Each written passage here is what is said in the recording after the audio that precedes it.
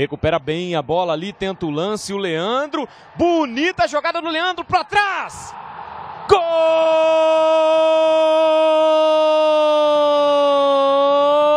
do Central!